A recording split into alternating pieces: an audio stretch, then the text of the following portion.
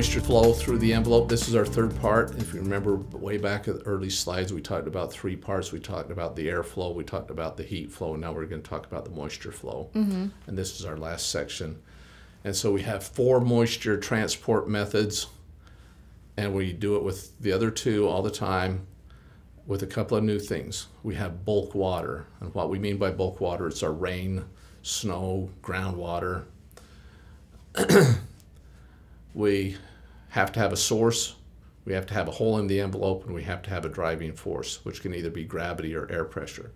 So if we have rain coming down on a roof, we'll have gravity as our force, you know, that's mm-hmm. bringing the water down our mm-hmm. building. And as it runs down the side of the building, if we have negative pressures inside the building, then we have a driving force, air moving in that'll pull the moisture in. Yeah. You see what I'm saying? Yeah. So if the building's negative, we can actually draw moisture in. And so air pressures can move moisture in and out. Or we have wind, if we have a lot of wind. So with the South, Louisiana, Texas, um, Mississippi, Alabama, and Florida, all along there, they are have this driving rain and with the wind, it will actually be pushing water through their walls. And so that is bulk water. That's mm-hmm. that's not just a little bit of moist air or anything. That's bulk water. We have a lot of water, and we can drive that into our buildings. But we can build our buildings correctly to stop that moisture getting in there. Right. And the building science that we've been talking about for the last several hours is we want to keep the water out of those areas that's going to cause damage. Then the next one's capillary action or wicking. And we know if we have a paper towel and we hold it upright and we have a little puddle on the table and we set it down in the water, it's going to crawl up, and yeah. wick up the paper towel. Well, water will wick up in concrete because concrete's porous and it will wick up in wood. So if you have wood in contact with wet concrete, moisture will literally wick, wick up inside the wood. And then we have an issue with the, the water, the mold, and the mildew, and the degradation of the, the wood itself because mm. it's wet all the time. So capillary action will be one of them. Air transported moisture, or that moisture that's within air that is moving in and out. We talked about the air flow through the envelope. And as soon as it strikes a cold or cool surface and we hit dew point, we have condensation. Now, why did we not have so much in past days? Because they leaked so much that they dried pretty well. Mm-hmm. You know, there was so much leakage through the walls that they dried pretty well. As we tighten up and build a tighter wall and we insulate it better, we don't dry as well. So we got to make sure that we keep the water out of there. And then vapor diffusion is the last one, and that is moisture that is literally within the air. You know, when you take a shower or whatever, we have, you know, it's moist in the air. Mm-hmm. And that moisture in the air, that will also pass through building materials or into building materials and be absorbed into the building materials. So um, all four of those methods can move water into our structure. Now I just threw in a slide because building sciences has told us how to do this now because we've learned from mistakes. And this is just AMSCO has a direction on how they want to see their windows flash so their windows don't leak. And there's a science to it. We don't need to go through the whole thing, but basically, real quick, it it will tell you if you read the written instructions on how they want the air barrier wrapped around, and then they want ceiling flashings down on the bottom, put the window in, then you do the sides, then you do the top, and then you bring the air barrier over the top. And what they're doing here is they're providing a seal, but they're also providing that if the water gets through, by the time you've completed the window, any water that gets in here will run down, run down, and just run out at the bottom of the wall because of the way they layered this layer first, then this one goes over the top. Mm-hmm. If they turned them around, it would come down and then it would go inside the paper. So we have we have great instructions on how to do them if we just do it right. So the effects of moisture on occupants. Um, what does it do to the occupants? and it's the same um, that we we saw in the others. It's health and safety and mold and bacterial growth, al- allergic reactions and asthma, sick building syndromes, and six. You know, there's been some products used in building construction, formaldehydes in glues and stuff like that. They don't do it much now. Uh, in fact, what was three or four years ago, one of the wood floor manufacturers, distributors here in town, had brought in a bunch of um, pre-finished wood floor from China, and it was found that it had too much formaldehyde in it, and they had to they had to tear a bunch out, and they had to, you know, it, it really cost them a lot of business. Oh, I'm sure. And I mean, and some of those some of those chemicals and stuff and finishes um, can cause some serious serious health issues. Mm-hmm. And so, one of the things we need to do is be aware of that, and you know the moisture and the contaminants and all three of these, the airflow, the heat flow, and the moisture flow all tie together to um, to create a bad situation or a good situation if we do it right. Um, and then, of course, we have the comfort issues. High humidity's not comfortable. Your perspiration doesn't evaporate, and if it's too dry, then we, we have you know some static shock and stuff like that. But high humidity is the big ones we're concerned about. Here's an outside wall that's been stripped.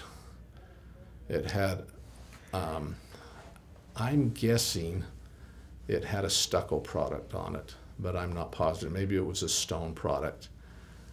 Water And- got in from behind. And water got in behind it because they hadn't applied their weather barrier correctly. Okay. And so water got in behind it. And, Created a mold problem. it looks like. and that's, I bet that was a pretty expensive repair. Yeah. I Yeah. bet that all had to be ripped out or. Yeah, I'm sure all this had to come off. You know, that's that's a that's a really pricey repair. And then you have to redo whatever surface, you know, whether it's a stucco or a siding or, or whatever material. So it pays to do it right. It pays to do it right. And this is the source of a bunch of litigation. I mean, it really is. Um, here's a picture. This is an interesting picture I got from um, Building America. They, they're one of the groups that work with Department of Energy. And moisture effects on durability. So we know that moisture is going to degrade the building as it obviously is done here. And you first look at this picture, and my first thought is it's leaking. There's something leaking, but the insulation up top doesn't look like it's saturated. It doesn't. And then you look a little closer, and I uh, and I'm cheating because I I know what they said with the picture. but what's this right here? It's the pipe. Is it a pipe? Well, that's a pipe, but what's behind it? Why is it white? It's because it's frozen. It- It's Oh. frost. Okay. which leads me to make the assumption, and this is what they said, is it's condensation. Oh, that wall oh, is wow. so cold that it's con. You know, we have a high moisture load in this uh-huh. in this basement, obviously, because that's a lot of moisture condensing on those walls. It's so cold that it's condensing, but the surface is also cold enough that in this one corner, it's actually freezing that condensate. And so that's not a weather barrier leak. This is a condensation issue. Okay. Now imagine if this wall was framed and this was all buried behind the wall, what would you have? We'd have a bunch of moisture behind it in the dark, which encourages mold growth. And so we'd have a big issue.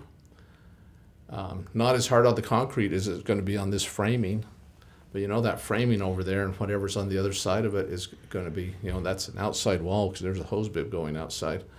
Um, so yeah, that's that's a big durability thing.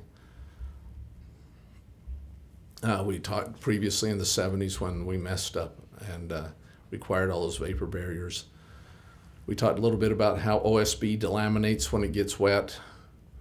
Um, and I mentioned this just briefly, but probably ought to make another note on it. The, the building code, not the energy code, um, has actually addressed where we have those roof systems and moisture comes up just by heat rising on the on the underside of that roof deck. The uh, code has now addressed it, and in certain climate zones, starting with our climate zone, you have to use a spray foam or an insulation on top of the roof deck. Otherwise, you are going to have a durability issue with your roof, and you're going to be out there walking on the roof, and it's going to be soft and spongy, so the roof's going to have to come off, and the sheathing has to be replaced, and it gets really expensive. But then you got to solve the problem. Why is it doing it? Mm-hmm. And it's because we have just fiberglass insulation in the wrong spot.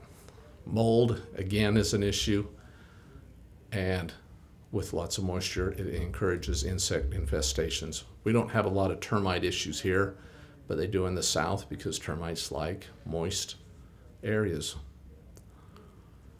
And moisture is, without question, the single greatest cause of construction defect litigation going on right now.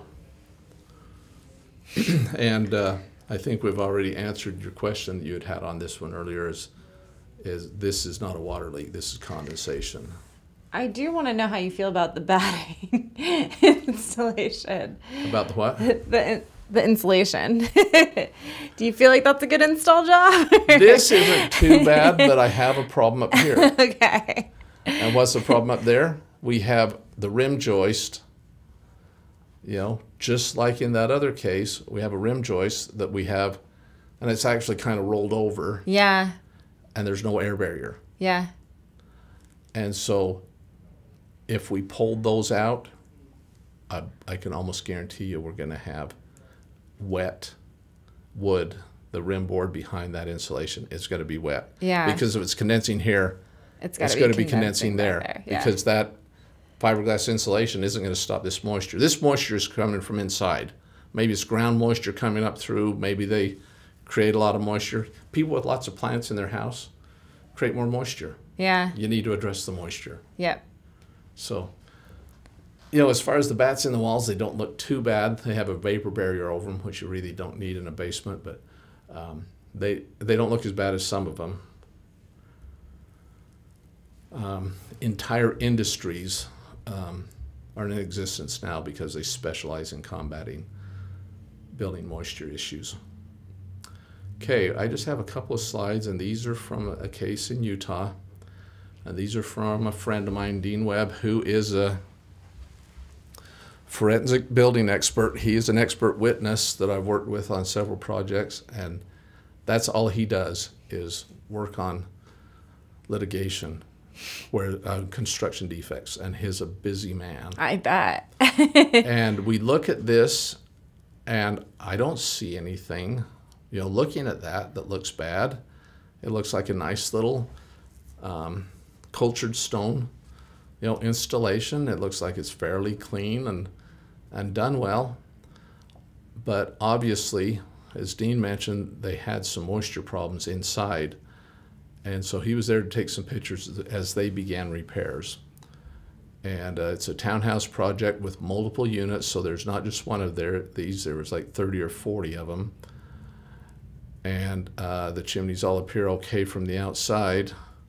They passed inspection. The inspector probably didn't see the defect in the in the installation because as we start looking at the next picture, we won't see it either until we go just a little bit further. But let's here's one stone has been pulled off. So if we go back, one of these cornerstones Okay. someplace has been pulled off. And it's a little bright, but we can see the metal lath mm-hmm. That's kind of got pulled off as they pulled the, the thin set that held the stone on. But you can see that the wire was there as supposed to. And then this is building paper. And that's required to have a two layers of building paper underneath there. So that all looked compliant. So the inspector might have come by before they put stone on it and s- observed the building paper on there and passed the inspection. You know, the metal lath was on it, everything was good. Um, we had the building paper and the metal lath. It appears dry and code compliant. But if you cut the building paper off or tear the building paper off, and mention there's two layers of it, which the code requires, we see something behind there that looks like kind of a rubberized material. And it's a material that I recognize and he did, and that's what we call Grace Ice and Water Shield. So it is a rubberized membrane that's sticky on the backside, and we use it in roof valleys, Okay. and we use it at the edge of the roof where you'll get an ice dam. And it's a wonderful product. It's absolutely fantastic product because it will stop leaks. I mean, you can put nails through it, and if you get an ice dam and water building up, it it's flexible enough that it seals against the nails. Oh wow. So it's it's really a great product So why would they put it on a chimney? because someone somewhere along the line had some leaks. okay. And so he thought, well, I'm going to put this on this chimney. And so they wrapped them all with that. And what we're creating is a vapor barrier where it's like putting plastic on the outside. So what happens with the moisture inside, mm-hmm. even if it's just a little bit of moisture, as it tries to migrate through the wall with the heat flow through the wall, it gets trapped. encounters that and it stops. Yeah. I mean, that is sealed as tight as this this Water bottle. water bottle. And so the water can't get anywhere. Well, what's the temperature of that when it's cold in the winter? It's outside temperature. Yeah. The only thing that's between it and outside is stone, and stone's not an insulator. So, um, So how did they find out that this was an issue? Like- moisture inside. Okay. In the chimney. No, inside this Okay. inside the space. Okay. I think they were smelling the mold or smelling the Oh, mildew. okay, okay. and they did and maybe there was even water running down and out of the this is Fireplace, fireplace yeah. out the, front of the fireplace Yeah. so now dean has pulled that grace off and you know he's had to cut it to pull it off and what do we see we see a white mildewy Ugh. so that is moisture that's made it in through drywall around the fireplace through the osb and then it's stopped and it's just been saturated so the osb is going to be bad everything's bad so we strip off the chimneys Oh, that's expensive. all new, all new stone, all, all new everything, and do it right. That's that's a big expense Yeah. by not understanding building science. Mm-hmm. Now, not everybody knows it, and I've learned I learn stuff all the time. Everybody needs to learn stuff, but that's why I think it's important that we do these types of podcasts and there's other resources that are available. We need to we need to be thinking about building sciences as we um, as we build buildings if we if we're building them or we're inspecting them or whatever our involvement is in our buildings. In our in our drive to conserve energy we need to make sure we understand the science so that um, we don't have these kinds of issues this is absolutely the incorrect method of air sealing. We need an air barrier on the outside, and the building paper is kind of this stuff is not the best air barrier. You know, a Tyvek, that white stuff is a little bit better air barrier, but the Grace is not an air barrier. It's a water barrier. It's a waterproof membrane. Um, it's the misapplication of a very good product, and uh, so surely you can't blame it on the Grace, the Grace product. Um, so multiple chimneys required full removal of stone OSB and then materials installed correctly. Kind of makes you sick, doesn't it, when you look Yeah. at that and you think of how much that cost uh, to come in and Yeah. and take care of all that. Dean showed me other pictures of that, and there were just stacks and stacks of the new stone lined up, ready to be installed when they tore everything apart and redid it the second time. Ugh. Breaks my heart. Yeah. If only someone would have done the extra work to do it right the first Do time. it right and understand the science of it. Yeah. Well, thank you, Katie. Yeah, it was thanks, great Brent. to great to have this discussion. Uh, those that are watching, we encourage you to send comments, questions. All right. Thanks, everyone, for listening to our three part series today on um, building science, uh, getting up to code, energy talks with Brent Ursenbach. Please feel free to follow our YouTube channel and us on Spotify. Send us any questions you may have or any requests for upcoming future episodes. Thank you. Thanks.